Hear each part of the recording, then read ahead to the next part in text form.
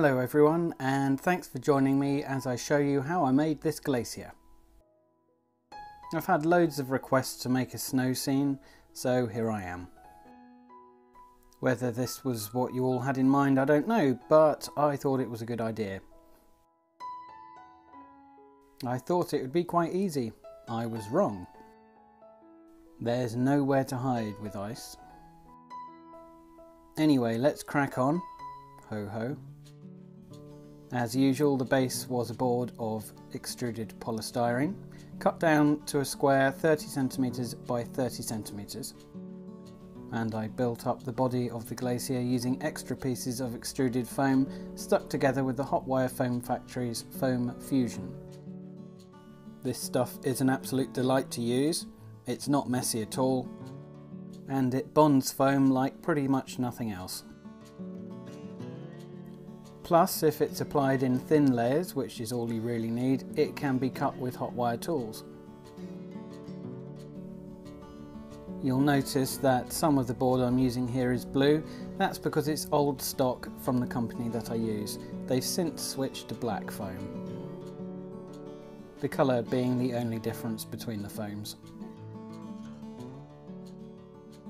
To secure the pieces in place while the glue dried, I put in some cocktail sticks and press these down through the foam using the flat side of a knife. Be very careful. For the front edge of the glacier I used Woodland Scenics rock moulds with plaster of Paris.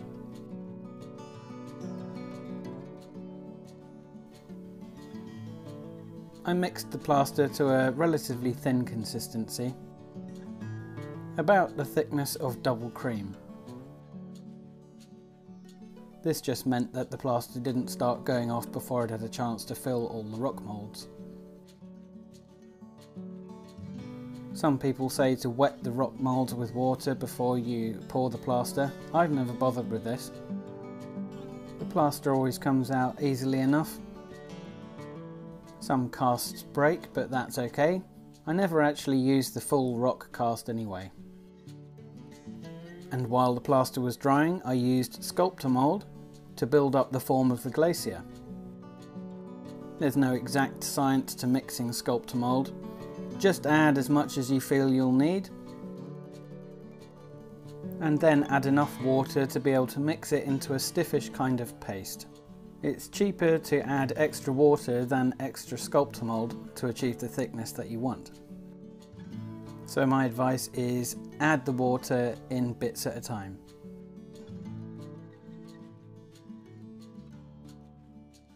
And then I just started spreading it directly over the surface of the foam. With Sculptamold you get about 20 minutes to half an hour depending on the humidity of where you're doing your modelling. After which time my rock moulds were ready. It's a good idea to have several rock moulds so that you can avoid repeating patterns along the cliff face or in this case the glacier edge.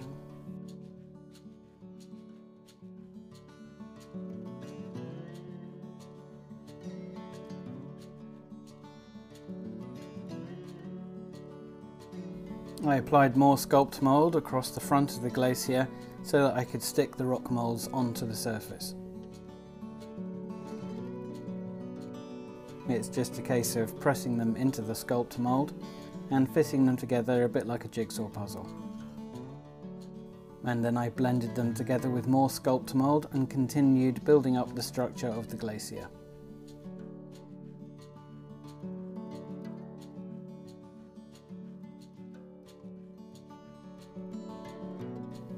At this point I realised I wanted to change the shape of the glacier slightly and all this took was a very sharp knife to cut away at the foam.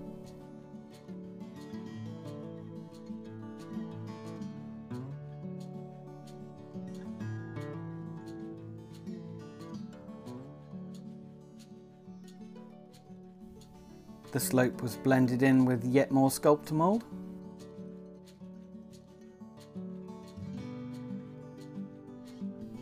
And I pressed in a few pieces of broken rock mould casting to give the impression of the glacier crumbling away. These were just blended in with a scrap of foam. and then I went over the entire surface of the Sculptamold and blended it in with wet fingers. Glaciers are even more dramatic when bits drop off them, so I decided to model a piece of ice carving off the front of the glacier. For this I used a suitable plaster rock casting and just whittled it down to size using a sharp knife, making sure to texturize the shaved areas of the plaster. And when I was happy with the size and shape of the shearing ice piece, I added some Sculptamold at the base and pressed the piece into place at an angle away from the face of the glacier.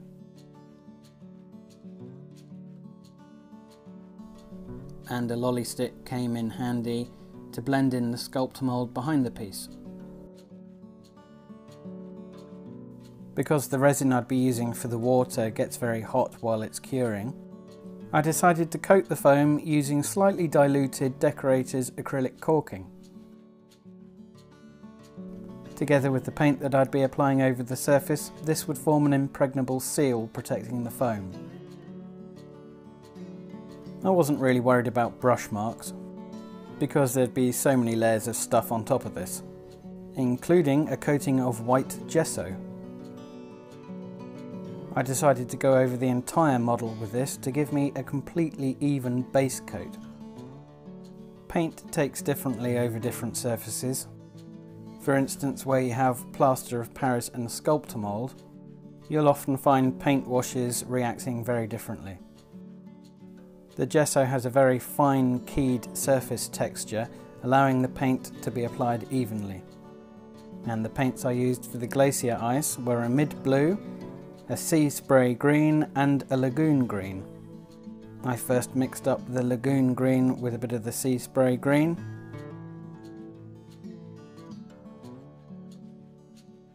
and made a very dilute wash.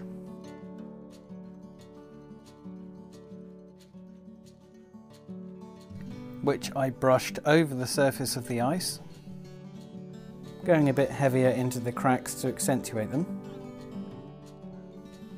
and then lightly over the flatter areas.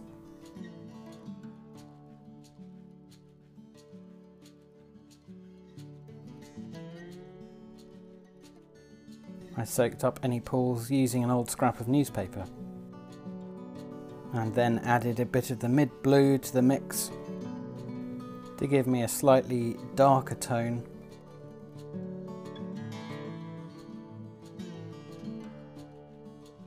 to further give the impression of depth in the cracks in the ice. This can look fairly dramatic at first, but as the paint dries it gets considerably lighter.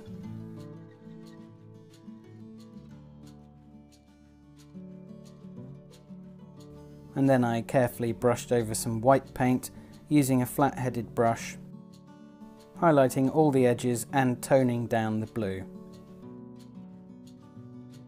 However, I made sure not to go over the area behind the falling chunk of ice with the white.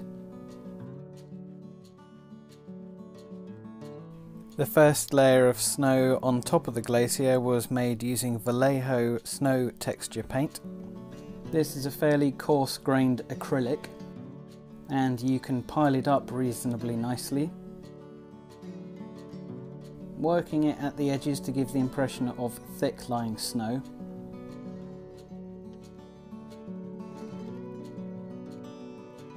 However, because of the coarse grained nature of the paste, I also used some snow flock by Woodland Scenics while the paste was still wet. At this point I applied the first base coat of the water and I was going with the blue colour at first. But later I'd changed my mind, however by that point I'd already applied this layer and it would have looked odd in the video had I left it out. I used a wash of sea spray green under the glacier to lend the water the appearance of depth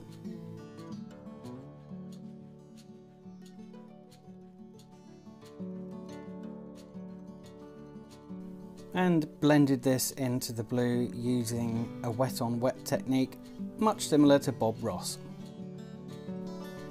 I was already realising that the blue was far too bright, so I put on some Payne's Grey, which is a kind of blackish blue grey acrylic paint.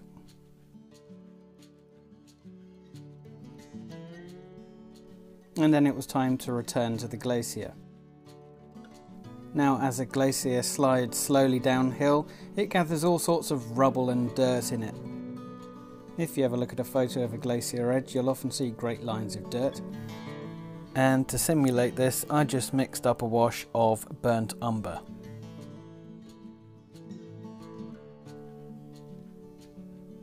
And here's where I decided that the base was still too blue, so I went in with some more Payne's Grey and a mossy green actually called jungle green.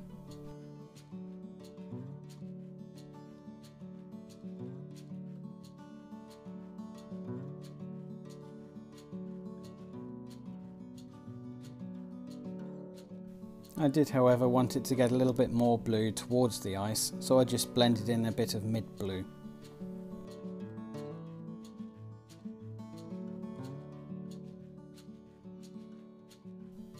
And this also helped to tone down the greenness of the water. And at last I had a colour I was happy with. But of course all my nice neat blending from before was ruined now, so I had to go back in with the sea spray. I think all this just shows that it's always okay to make changes as you go along.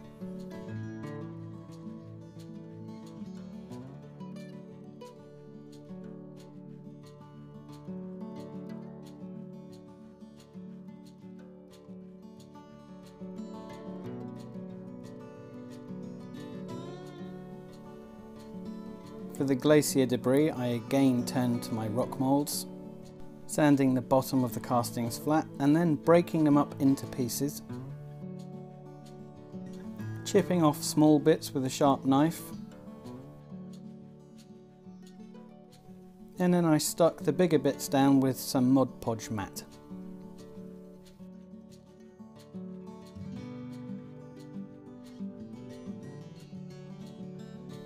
Had a kind of flow in mind, but really there's no wrong way to go about this. And I gave them a quick wash with my ice blue from the glacier. Before pointlessly, as it turned out, going around the edges with a bit of white to lend it the impression of depth. I say pointless because I didn't really realise at the time how this would all be covered over. And do you remember how I said I was happy with the colour before? Well, I wasn't. I changed my mind and I went back to the green. And now the bigger bits of debris were down, it was time to pour the resin. And first this meant creating a dam using masking tape. And I applied a bead of white glue along the bottom edge to seal it and then before preparing the resin I took some of the smaller debris pieces and gave them a wash with the ice blue as well.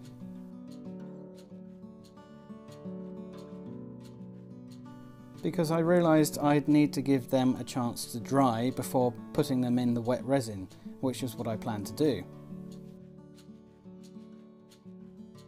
And the resin I used was water clear epoxy resin from CFS. This gets mixed in equal parts. One resin, one hardener. And these are actually old cups that I've washed out with isopropyl alcohol. The two parts of the resin then get mixed thoroughly together slowly so as not to introduce too many bubbles. And I tinted mine with a bit of green acrylic. Just a few dots at a time, you can always add more. As I did here until I was happy.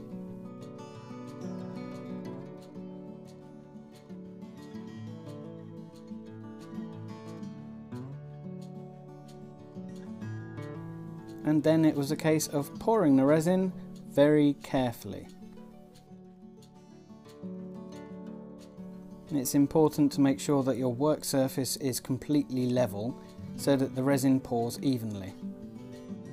Or rather that you don't end up with a shallow and a deep end. You don't get too many glaciers in swimming pools after all. The resin usually finds its way into all the little areas of the model, but you can push it where you want with a lolly stick.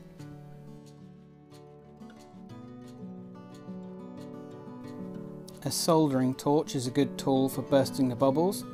You just have to go very carefully, pass it lightly over the surface, not getting too close and not remaining in one spot for too long, and watch out for setting the masking tape on fire.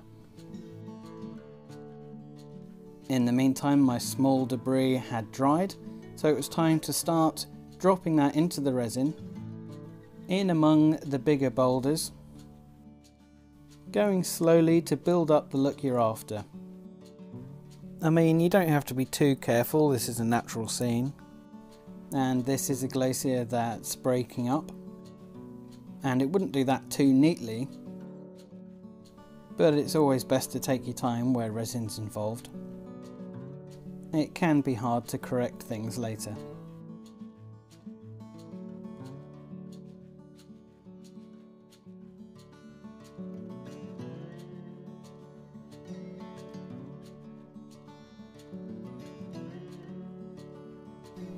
Kind of blend the rocks in together a bit more, I used some Woodland Scenic Snow Flock, and I was quite pleased with how it all turned out. I ended up going over some of the bigger boulders again with a dry brushing of white and a very light wash of burnt umber.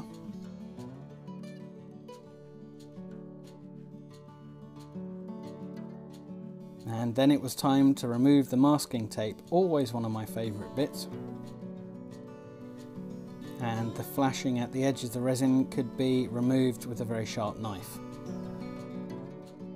To give the water an icy look, I mixed up some Liquitex glazing medium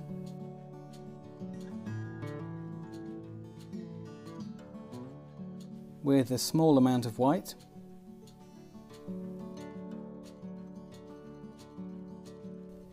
and brushed this sparingly over the surface. Now it goes on fairly white but it dries opaque.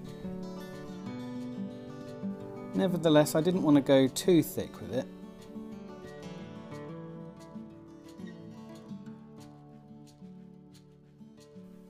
and I blended it in with a bit of untinted glazing medium.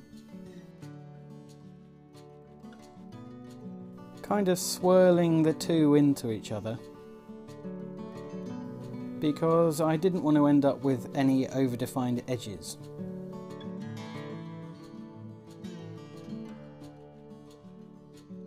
And then it was time to make splashes where my ice was falling into the lake and for this I used Soudal Crystal Clear Fix All polymer mixed with some Vallejo snow paste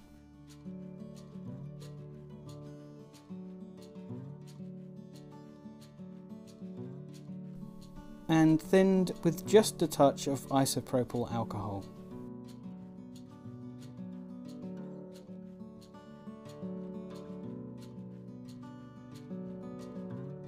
It's quite fiddly to apply this. It likes sticking to your spatula, so you might have to use two. But once it's down, it's quite easy to poke and prod about into nice splashy shapes. Just keep teasing it out until you're happy. To add a sense of translucency to the splash, I mixed a bit of my ice blue wash into the remaining mixture in the cup and then daubed this on sparingly. And then the final touch was to add very finely teased out bits of polyfibre, which can drive you a bit crazy as it sticks to your fingers. and then a sprinkling of Woodland Scenic's snow flock.